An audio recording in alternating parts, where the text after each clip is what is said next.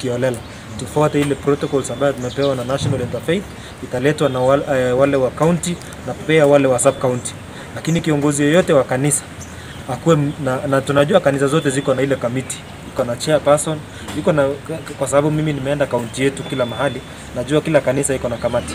Tunataka tuombe hiyo kamati ya kwamba usingojee hadi ufikiwe uulizwe kwa nini hujaweka eh, vyombo ya maji, sabuni, eh, yale ile thermogun ya kupima temperature.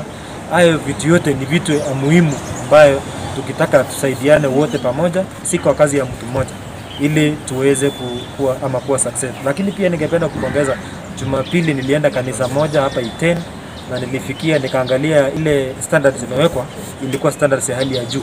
Ningependa kuomba ya kwamba hiyo standards tuendelee ku, ku, kuitunza ili tupate nafasi ya kuabudu na pia tusirudi nyuma, kanisa ifungwe tena. Najua